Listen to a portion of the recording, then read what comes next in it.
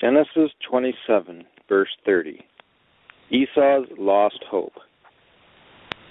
Now it happened as soon as Isaac had finished blessing Jacob, and Jacob had scarcely gone out from the presence of Isaac, his father, that Esau his brother came in from his hunting.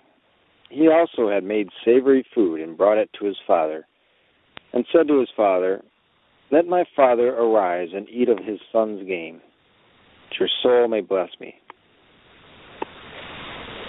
And his father Isaac said to him, Who are you?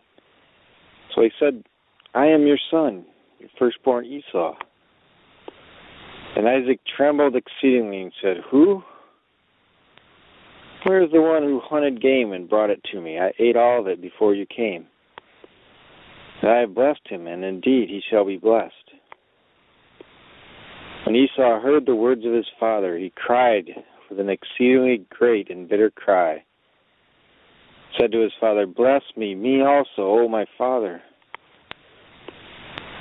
But he said, Your brother came with deceit and has taken away your blessing. And Esau said, Is he not rightly named Jacob? For he supplanted me these two times.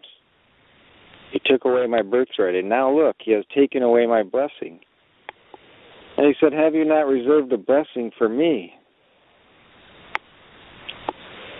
Then Isaac answered and said to Esau, Indeed, I have made him your master, and all his brethren I have given to him as servants. With grain and wine I have sustained him. What shall I do now for you, my son?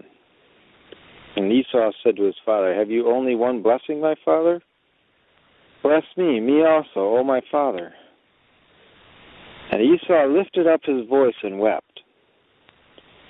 And Isaac his father answered and said to him, Behold, your dwelling shall be of the fatness of the earth, and of the dew of heaven from above. By your sword you shall live, and you shall serve your brother. And it shall come to pass, when you become restless, that you shall break his yoke from your neck.